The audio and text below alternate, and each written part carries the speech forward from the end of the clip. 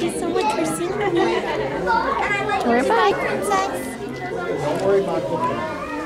Don't worry about